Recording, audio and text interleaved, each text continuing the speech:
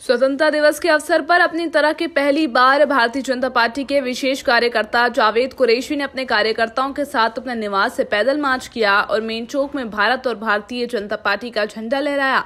संवाददाता से बात करते हुए उन्होंने कहा, आज मैं पूरे भारत को स्वतंत्रता दिवस के शुभ अवसर पर बधाई देता हूँ। उन्होंने तोरेकी मेन चौक, होंडुरास में अपना भाजपा सदस्यों के साथ भारतीय ध्वज को लहराया और मुझे आज ये अवसर मिलने की खुशी है। उन्होंने कहा, भारतीय जनता पार्टी एकमात्र पार्टी है जो लोगों के कल्याण और उनके लाभ के लिए काम कर रही है। उन्होंने उम्मीद जताई है कि इस दिन हर भाजपा कार्यकर्ता हर सड़क पर अपना भारतीय झंडा फैलाएगा। उन्होंने कहा कि जब तक वे उसके शरीर में खून है, वे झंडा फैलाते रहेंगे। भारतीय जनता पार्टी का आज हर जगह पे जश्न हो रहा है।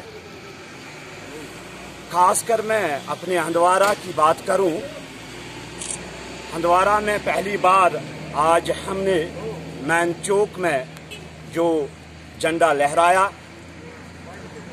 ये हिंदुस्तानियों की खुशकिस्मती है कि भारतीय जनता पार्टी ने हुकूमत संभाली है।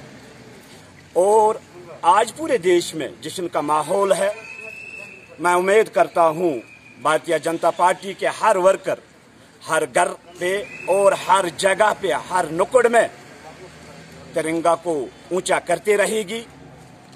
खासकर जो हमारे वर्कर्स है।